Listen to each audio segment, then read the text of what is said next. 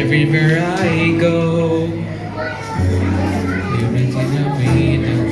this you'll always be a part of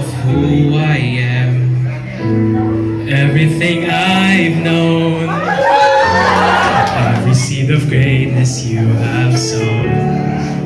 Through good and bad, your love has watched me grow.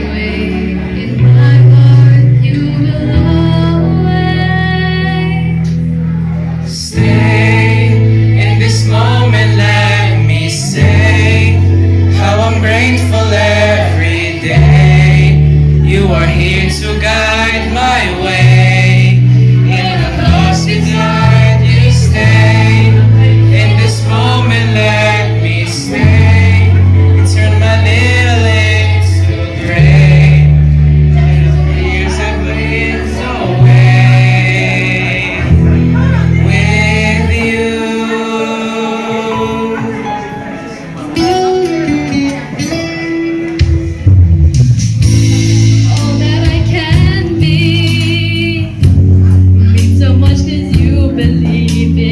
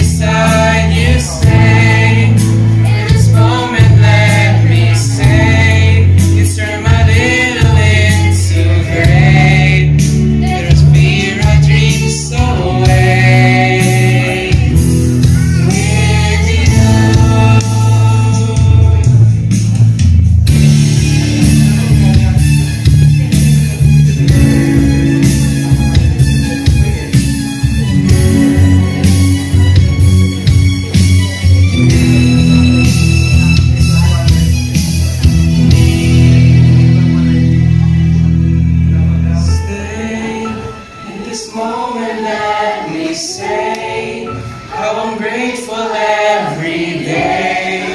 You are here to guide my way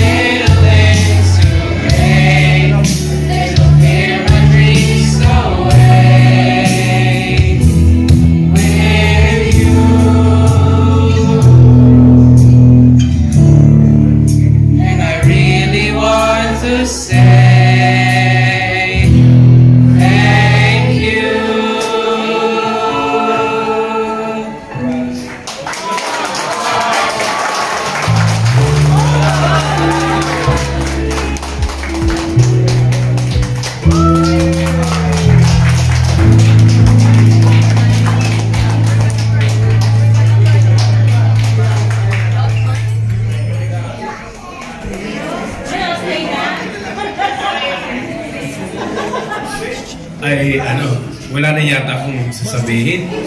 Ah, anyway, ah, uy, mayroon pa. Thank you very much. Alam niyo po, ah, sa totoo lang ayaw ko pong talagang umuwi. Kasi talagang sobrang napamahal. Kayo na po yung naging second ah, family ko rito. Lalong-lalo na po yung um, yung pag-serve ko since 1994 until now. So, yung mga kids, thank you so much kasi kayong naging inspiration ko, kayong naging ah, strength ko dito sa Kuwait.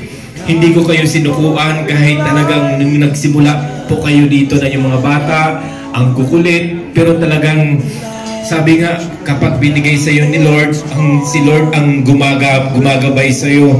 Thank you so much kids sa pagtitsagaan nyo kay Sir Junior. Minsan masungit talaga. Then, sorry talaga kung minsan nasusungitan ko kayo. Lalo na yung na, napupuna ko kasi sabi ko nga, that's for you, para mag-improve kayo. Yung um, close friends ko rito, yung Team Rigay, na naging second family ko, lahat ng kids na may parents, Sister Mabel, na you always there sa akin, talagang Saludo ako sa iyo, Sis Mabs. Sabi nga eh, hindi naman lilisan lang yung aking ah, physical na, kat na katawan dito, but my spirit and heart, eh kasama ko po lagi. Nasa Pilipinas naman po ako. And then, um, God's will, yung susunod na destination ko po ay uh, with the Lord para magamit naman po ako ni Lord kung saan ako mapu- ma- mapunta sa pag, ah, yung pag, um, na-share ko po yung talent ko po. Sa mga personal kong mga tinuturuan sa voice lesson ko, at talagang I'm so proud of you. Talagang sobrang galing. At nasasabi nga ni Sister Telma, yung mga batang nanggaling, yung mga tinuruan ko, ah, wala siyang ano, sober, thankful talaga siya dahil pag binibigyan kayo ng ano yung assignment, yung sa lalo na salmo, talagang ah, hindi na siya nahirapan. Bigay lang yung pyesa, ah, nandun na kagad. Kaya kayo kids, sabi ko nga sa inyo, ah, huwag kayong mahiya, keep on serving the Lord. Aalis man si Coach John, but you can contact me kung may mga gusto kayong ah, itanong, magpaturo sa akin. I always welcome sa inyong lahat. Lalong-lalo na po sa aking ah, yung pag uh, in hand, ibibigay, turn over ko po yung aking ah, pagtuturo sa kids choir sa kut kutakam uh, ka, katukayo kong si Brother Jun Limos. Brother Jun, dapat nandito ka eh. Kasi I hand over ko yung kids na alam ko na hindi naman pababayaan ko ito, yung kids choir and we keep on uh, contact to each other kahit nasa Pilipinas ako, we keep on helping to each other. So nandito lagi ako. Sa mga parents, sobrang thank you po sa inyong lahat sa pag-deserve niyo po kay Lord. Um, hindi ko po kayo makakalimutan. Sobra po talaga akong um, masaya. Sobrang ah kay Father Monching, thank you very much though he is not here. Thank you so much, Brother Kiko. Thank you, Sister Telma. Wala na masabi. Basta, salamat kids. Keep on praying Tito June, Coach June. Okay? And especially for my health.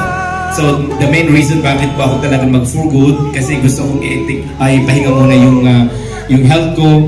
And then, but keep on serving the Lord. Thank you so much and God bless us all.